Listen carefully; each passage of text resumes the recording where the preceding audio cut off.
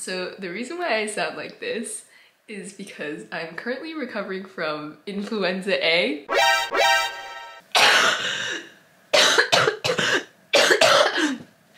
if you see my last video, Bruh. I know what you're thinking. The universe does not want me winning. There's so many obstacles on my hero's journey. God damn. anyway, I'm on the road to recovery, but this was the sickest I've ever been. Literally, worst pain I've experienced in my whole life. it was so bad that the day before yesterday, I had to go to the ER. My throat was on fire and it was like I was swallowing knives, which I learned at the ER was because I developed ulcers in my throat. It hurt so bad I could barely sleep or eat or drink. like every time I swallowed or coughed, I would uh, scream and cry. My head constantly felt like it was about to explode. I had hella body aches, especially my lower back. I was constantly oscillating between freezing cold and burning hot to the point where I would soak through my clothes with sweat. Like even my legs were sweating. And I'm just like not that kind of girl who has sweat glands on her legs. That's just like not me. It's not who I am. And my heart was racing. She was Sha'Carri Richardson on the track. My normal resting heart rate is around 50 beats per minute. But on the day I went to the ER, the whole day it was around 120. I could feel it in my chest like, Ugh. I also like could not breathe or move or talk and I always felt like I was gonna throw up and I also lost my sense of taste. But talking was so painful that in the ER, I could not speak to the doctors. I had to write down what I wanted to say on my phone. And my boyfriend was sitting next to me the whole time. I was in the ER for like six hours and he was sitting next to me but I could not speak to him because it just hurt so bad and he couldn't hear me when I tried to talk. So I was texting him when he was next to me. Screenager AF! But I'm feeling relatively better today, all things considered. And I'm on hella pain meds and I'm bored. So I thought I would try and film a, a silly little sketchbook tour for you all. Okay, so I started and completed the sketchbook this past summer, which is very momentous for me because I am usually not a sketchbook completer. Okay, I kind of cheated because not all of it is actually drawing. It's like part sketchbook, part scrapbook, part journal, but that's okay. We fill it however we can. To start off strong, we have some corny ass shit I wrote.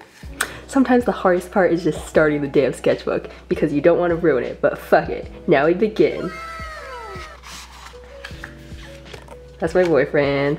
That's my friend Simone. I tried to, I was on the Amtrak when I drew this, and um, the train is very much not conducive to drawing. It's like, tried very hard for an hour to draw on the Amtrak, but it go bump bump and I am dizzy so I have given up. And the markers from this side transferred to that side, so it looks a little silly, but that's okay. This is my little guy, Duckworth, which my boyfriend gave me for my birthday, named after Kendrick Lamar. Here are some quickie five minute figure drawings I did on the train. I would highly recommend the website lineofaction.com. They populate like these free figure models. oh, that's disgusting. As I was saying, it's really good practice for figure drawing.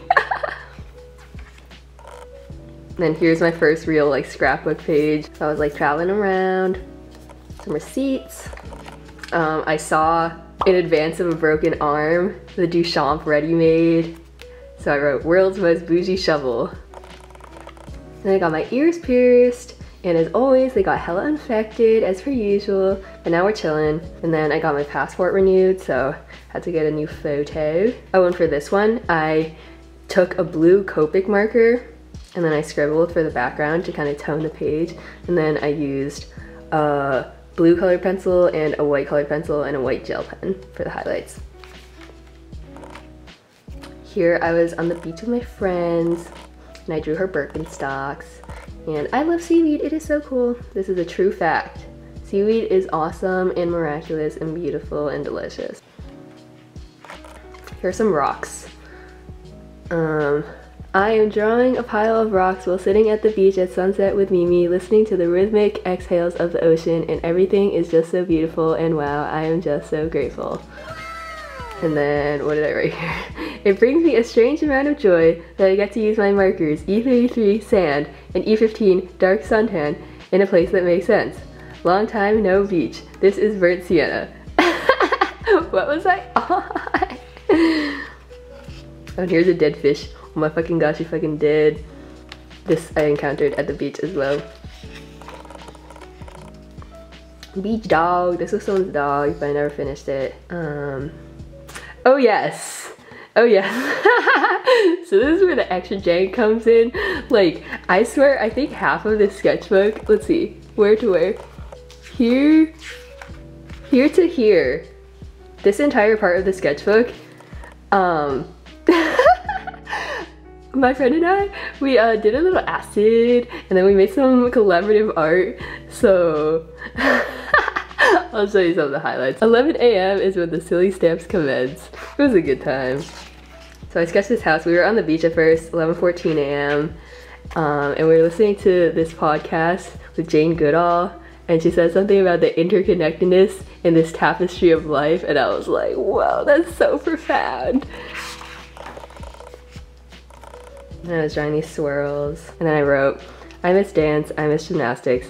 I miss feeling like I had the desire, ability, right to make art with my body. Space is blank canvas, beckoning. Its arms have always been open to you. Just remember. It's 12.37. I tried to mark the timestamps so I could like come back and trace my mental deterioration because it gets progressively more silly. This is when I was still like able to think coherently somewhat.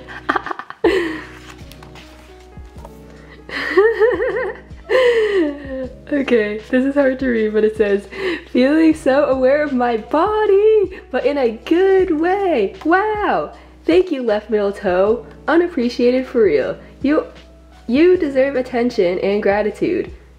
And care. I feel like, I feel like I am starting to understand what it is to be embodied. I feel like as someone who has been showing my art to the world for a long time and has been very concerned about like making things look pretty. This was genuinely so liberating and I felt like I was like able to just create and make marks because it felt good to my body in the moment without having to think about the outcome and that was so freeing. So not saying that everyone should do psychedelics but like YouTube don't demonetize me. This feels good. I am allowed. Thank you for the hug. I love you. We know. Thank you to the coloring page outlines, the little things that hold us. We all just need to be held. a lot of these drawings were like based on the conversations my friend and I were having in the moment, so they probably like do not make sense. They definitely don't make sense to anyone else. Like this is great flavor. Oh, worm? Reworm yourself, snail. Our can be so expansive, sharing, but also so possessive. Not yours. This little worm guy with a top hat. and we were talking about, like, in the Mickey Mouse universe, like, is Pluto a dog? And then would that make Goofy a furry? And then here's like the evolution from Pluto to Goofy. Final boss top dog is dog? Thanks, Darwin. We did it.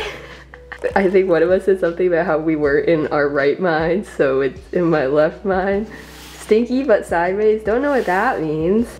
Here's a little seal, so art, art, stronk, shorty, shoddy, spork. Word association, I can't, cunt, cont. I love etymology entomology. And then some bugs. Seahorse? Seahorse? And then drew this little male seahorse giving birth. So much baby. And then there's a little baby. Peanut baby.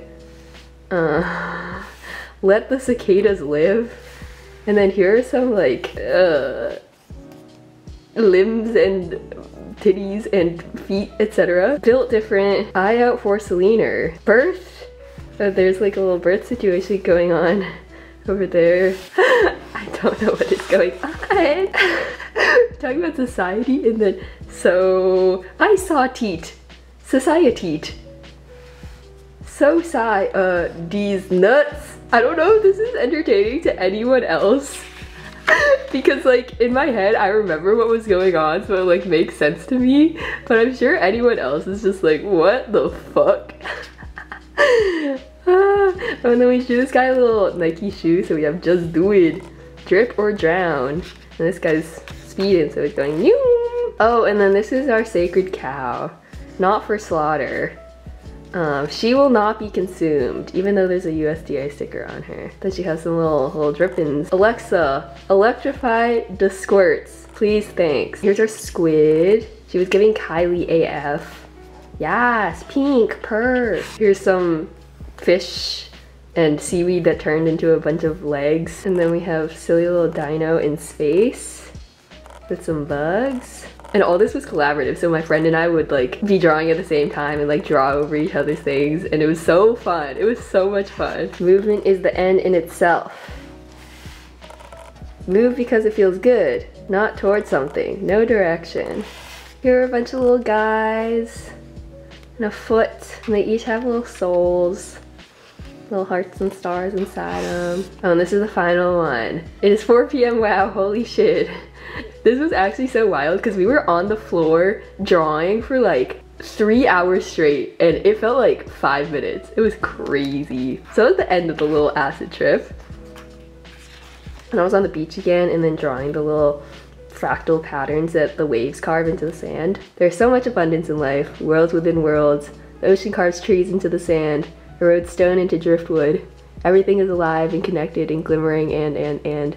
I explore the depths of the universe as I watch a snail crawl, glide, soar. This is enough.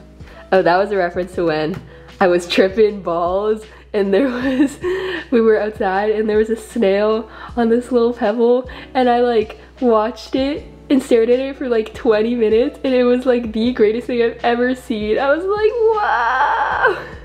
Okay, and then this on attention. Here are some quotes I collected on attention that I really liked. Attention is the beginning of devotion. Attention without feeling is only report. You need empathy. Mary Oliver. Attention is that doorway to gratitude, the doorway to wonder, the doorway to reciprocity. Robin Wall Kimmerer. Attention is the rarest and purest form of generosity. Simone Weil. What happens when we turn attention into a common thing? When we start to see each other more carefully and more thoroughly? Ocean Vuong. Here are some patterns inspired by shapes and creatures that I found at the tide pools. Here's my friend's hand with another little hand guy attached. This is also a marker base with colored pencil on top. I found that I really liked marker sketching and then putting colored pencil on top because it allows you to kind of be like loose and gestural and then and then to go in with more precision on top. Some scrapbooking. Here is some dead crab and crab limbs that I encountered on the beach. This is toned paper that I ripped out and then pasted into my sketchbook and then marker and color pencil. Graphite sketch I did of a butterfly. Here's a little Krista Tippett quote. Hope is a muscle, a practice, a choice that actually propels new realities into being. And it's a muscle we can strengthen. This isn't about optimism. It's not about wishful thinking. It's about insisting that we can be agents of change. That what is doesn't have to be random color test. And at this point, it basically just turns purely into a scrapbook. So that's it. Sorry that I'm in like peak musty state of existence.